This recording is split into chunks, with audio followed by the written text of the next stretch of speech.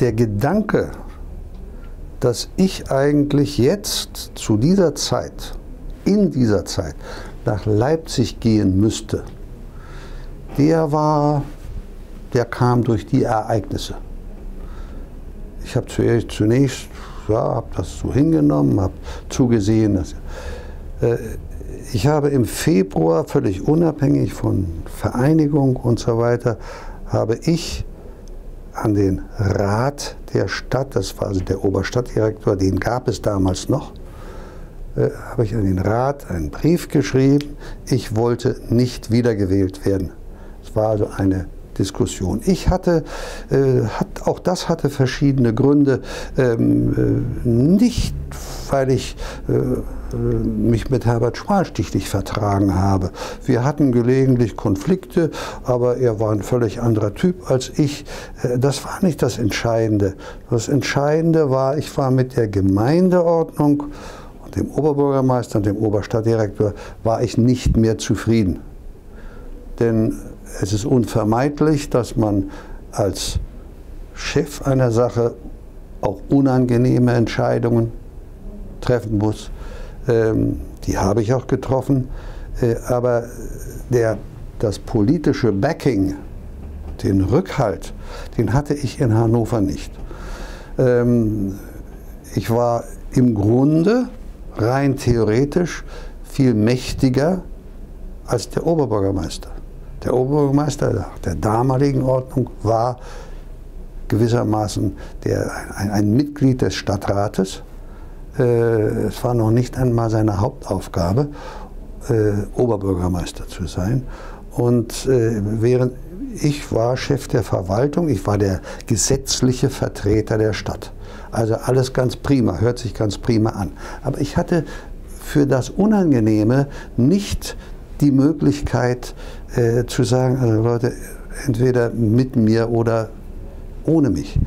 Ähm, und das ist etwas, was äh, wir haben ja nachher auch dafür gesorgt, dass diese Gemeindeordnung, wie sie in Nordrhein-Westfalen und in, äh, in, Niedersachsen vorhanden war, dass die aufgehoben wurde. Das gibt es heute nicht mehr. Äh, ich habe also an den Rat der Stadt geschrieben, bitte, dann und dann läuft das ab. Ich kriege das so langsam mit, das wird diskutiert und ich möchte darum bitten, dass ich nicht wiedergewählt werde. Richtet euch darauf ein.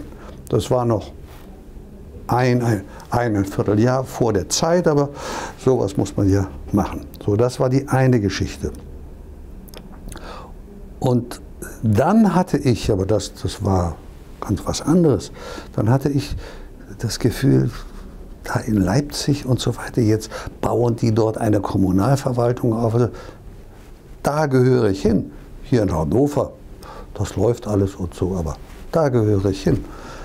Und äh, ja, und dann kam nach der Volkskammerwahl, die fand, das sind so Zeiten, wo man dann also genauer, äh, das war der 18. März 1990 und im, äh, in der darauffolgenden Nacht, beziehungsweise nachts um 12, äh, da kam ein Anruf aus Leipzig, ob ich wohl, und sie hätten keinen und hätten sie gerade, es kam aus einer Sitzung heraus, äh, also ob ich da wohl in Betracht käme.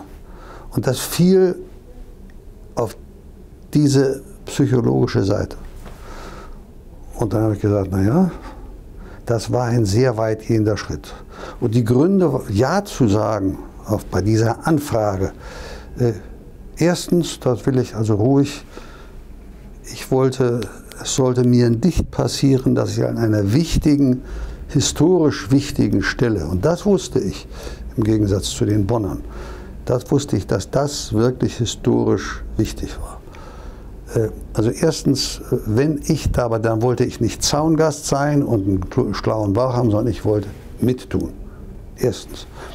Zweitens, äh, die äußeren Umstände waren günstig. Ich habe vier Kinder, meine Frau und ich Entschuldigung, meine Frau und ich, wir haben vier Kinder. Der letzte war gerade aus dem Haus, der war 18 oder 19, hat er gerade Abitur gemacht, war raus. Ähm, das, war, das war diese Sache, ähm, die ich habe mir, ich bin auch, habe das ja vorhin geschildert, äh, ein, ein Nachkriegskind, äh, bin also durchaus gewohnt in, äh, sagen wir mal, in schmäleren Verhältnissen. Wir haben in Hannover eines der, der schönsten Häuser, habe ich selbst gebaut, direkt am großen Garten. Also schöner geht es in Hannover gar nicht. Aber ich gesagt, na ja, muss ich das Haus eben aufgeben gebe es eben auch. Insofern bin ich also Nachkriegs und so weiter. Es waren also verschiedene Gründe, negative äh, Gründe. Äh, jedenfalls habe ich dann Ja gesagt. Allerdings habe ich mich, ich wollte nicht ähm, äh, etwa nur das, das habe ich von vornherein gemacht. Das hat sich also auch auf roter Faden durchgezogen. Ich wollte nicht äh, als SPD-Mann sondern ich wollte als jemand, der was von der Sache verstand. Und ich habe mein Leben lang Kommunalpolitik, habe im Städtetag angefangen, war in Köln Beigeordneter und war dann äh, elf Jahre immerhin, also in, Han in Hannover, Oberstadtdirektor gewesen. Also mein Handwerkszeug verstand ich.